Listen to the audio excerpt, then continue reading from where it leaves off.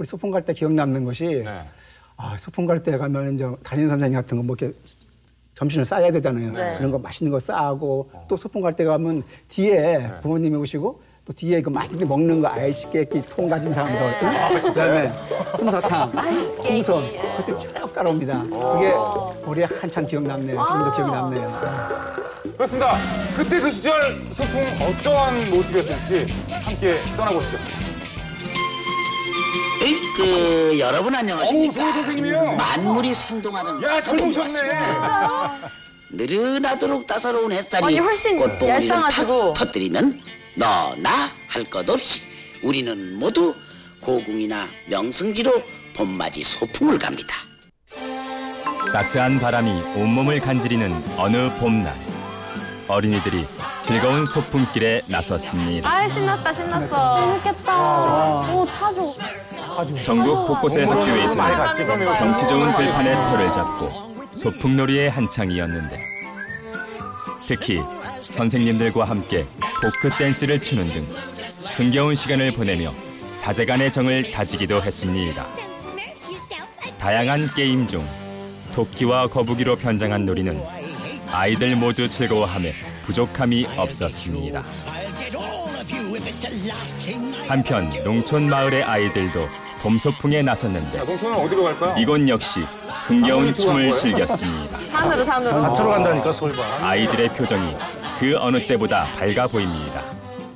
농번기를 맞아 이웃 마을의 바쁜 일손을 고사리 같은 손으로 돕기도 했습니다. 어린이는 나라와 결의 앞날을 이어나갈 새 사람입니다. 따라서 이들을 소중하게 여겨서 옳고 아름답고 씩씩하게 키우는 것은 모든 어른과 사회의 책임입니다. 며칠밤만 자면 어린이날이에요. 5월 5일 어린이날을 맞이해서 여러 가지 행사가 전국에서 베풀어졌습니다. 어린이 잔치가 베풀어져 귀여운 어린이 대표가 하늘의 용사들을 사열하는 등 동심의 부푼 꿈을 아로새게 주었습니다.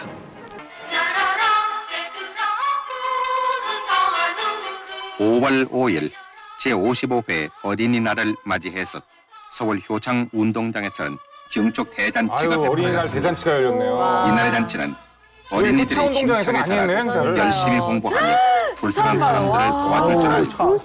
어른을 공경할 줄 아는 옛날에 착하고 올바른 정신을 잔치라는 없는데 뜻에서. 베풀어진 잔치였습니다.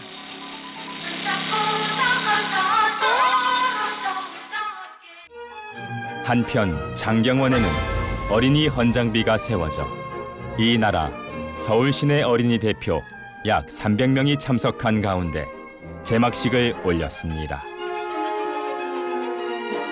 또한 선행아동 표창식도 베풀어졌는데 착한 45명이 명예로운 상을 받았습니다. 창창보다 부상이 뭘지 상당히 궁금했어요. 가정의 달인 5월을 맞아 소풍길을 나선 가족 관광객들도 늘었습니다. 정말 가정의 달을 맞이해서 소풍의 인기 코스는 단연 동물원.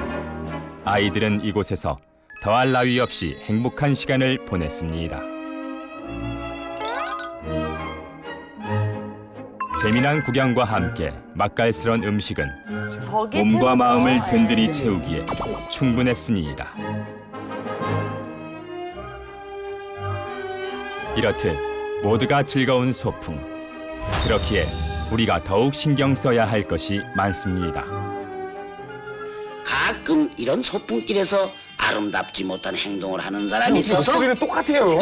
이 맞살을 찌푸리게 하는 경우가 많습니다.